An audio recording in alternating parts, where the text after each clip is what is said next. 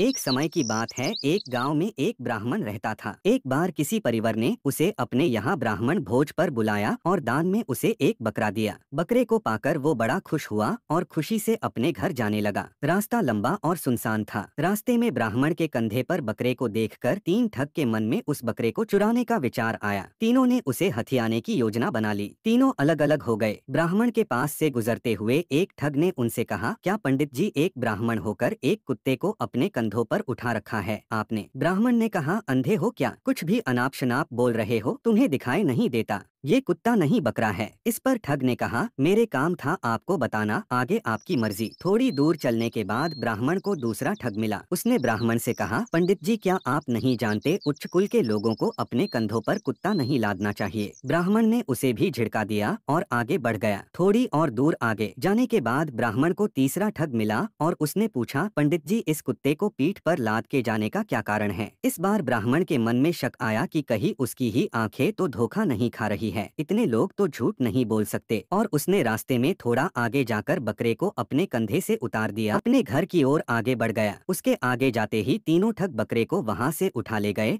और उसे मारकर उसकी दावत खाई। तो दोस्तों, इस कहानी से यह सीख मिलती है कि कई बार झूठ को भी मेजोरिटी में बोलने पर वह सच जैसा मालूम पड़ता है और लोग धोखे का शिकार हो जाते हैं।